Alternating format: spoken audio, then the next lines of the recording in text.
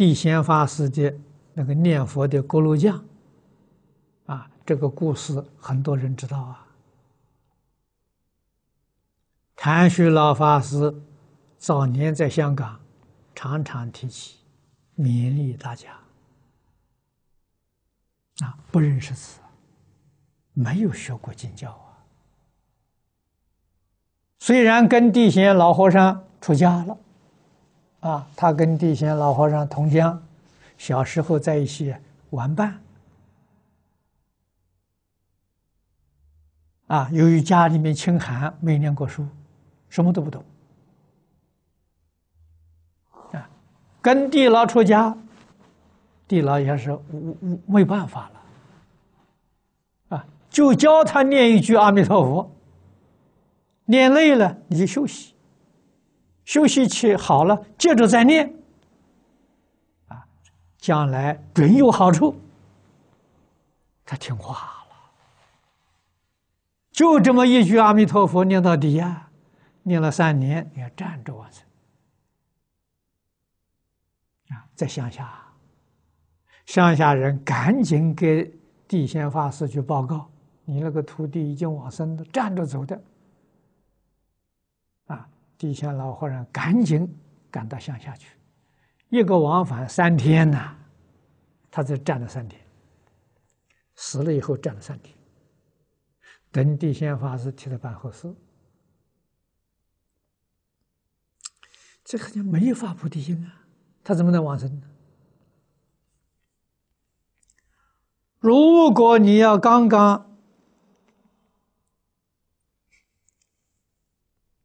看到啊，这个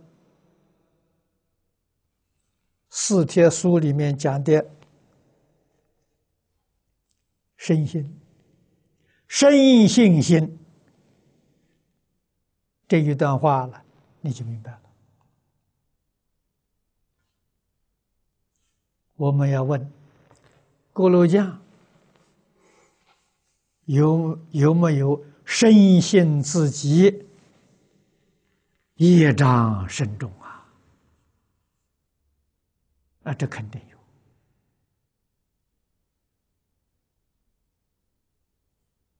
啊，对于阿弥陀佛。戒淫往生，他有没有怀疑？没有怀疑。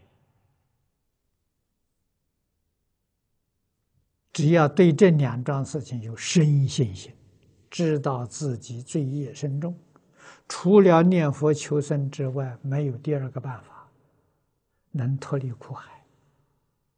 深信阿弥陀佛戒，啊，决定没有疑虑，这就是大菩提心呐！你看，诚心诚意去去去念，具足了至诚心啊！有这个信念的时候，那具足了身心。念佛的效果，这个三年啊。这么样自在潇洒站着往生呢？这就是回向发愿心啊！做给大家看呢，让不信的人相信，信的人这个信心加深了。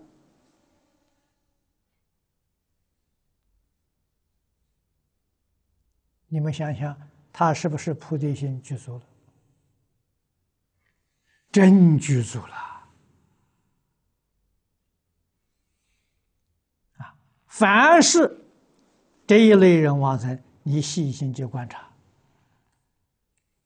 决定他是一个厚道的人，啊，是个老实人、忠厚人，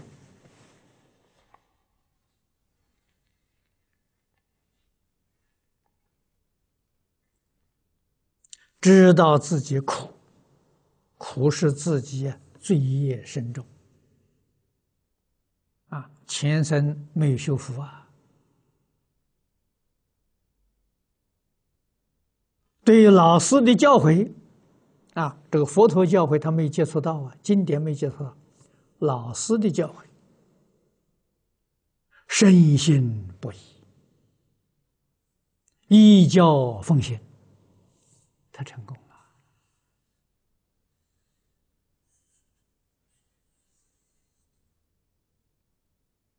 了啊！我们自己好好认真反省反省，跟他两个比一比啊，他那些长处，我们有没有？我们这一生造的罪业啊，起心动念、言语造作，想想他有没有？他没有。他一心一意就是念佛求生净土，啊，对这个世间没有丝毫留恋，没有丝毫贪着，